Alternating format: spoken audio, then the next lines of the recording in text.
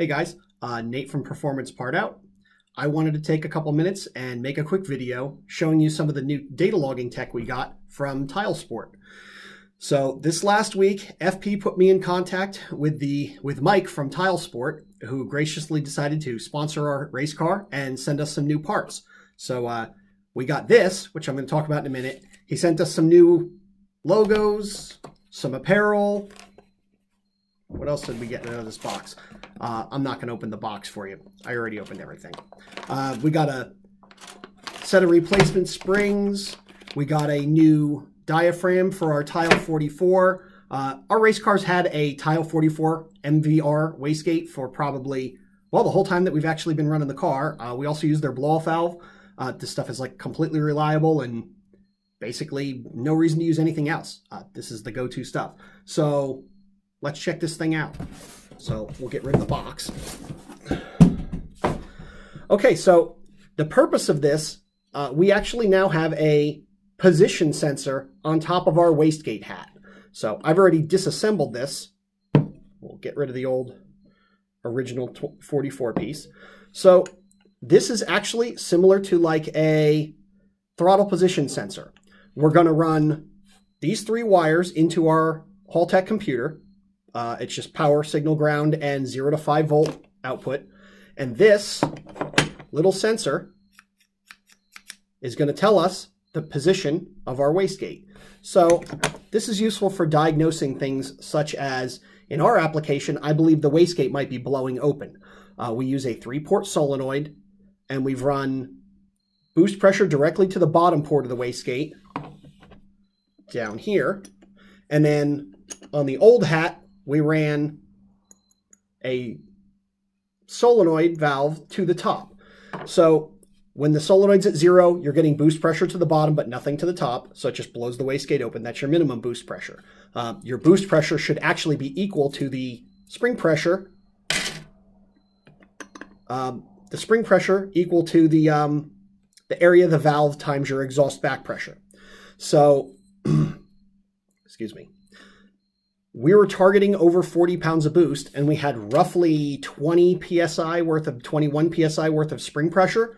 And when you've got boost pressure going to the bottom and your solenoid is at 100% you're putting wastegate or you're putting boost pressure to the top and the bottom of the diaphragm which has no action on on the assembly. So then it's just your wastegate opens when your exhaust pressure times the valve area equals the spring pressure on the top and since we already have the maximum amount of spring pressure in this wastegate, we have the, the maximum configuration of plain, black, blue, and yellow four springs.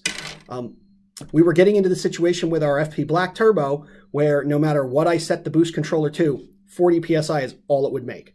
And the guys at FP, in discussion of a, an upcoming upgrade, thought that it was possible that, that possibly the wastegate was opening up. So this new sensor is going to tell us this. We'll be able to data log now what the position of the wastegate valve is and compare that relative to what we know the computer is giving for boost control output duty cycle.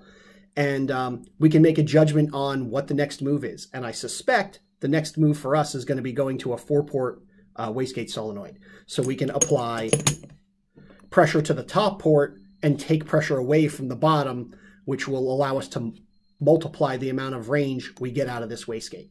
So this sensor comes with the electronic sensor, an adapter, a new top hat with this flange set to it, uh, accept the adapter. And then in the package is a couple O-rings. There's an O-ring seal here, and there's an O-ring seal on the valve. So this will seal up nice and tight. And there's some stainless steel hardware to put it together, stainless steel set screws, and that's about it. Uh, while we have this apart, I'm going to replace the old diaphragm. I believe this thing has been going strong since geez, like 2012, 2011. So uh, this is like a seven or eight year old diaphragm. We're going to replace the diaphragm with a new one and sort of just rebuild this with a fresh set of springs, a fresh diaphragm, and we're going to put a new, put the sensor on. And I believe we're going to go test it this week. So uh, thanks to TiAL Sport. Uh, glad to be on board with you guys. Um, that was a nice thing to find out that uh, you know somebody was interested in sponsoring the car and sending us some parts and uh, this is going to be great to uh, use this to do a little bit of the testing on the car rather than just guessing on why the boost control doesn't work the way we expect it to work. So uh, this is going to be pretty interesting. Uh, check back in later in the week. After this weekend, I should have some data logs to show everybody that includes this sensor and this information. Take it easy.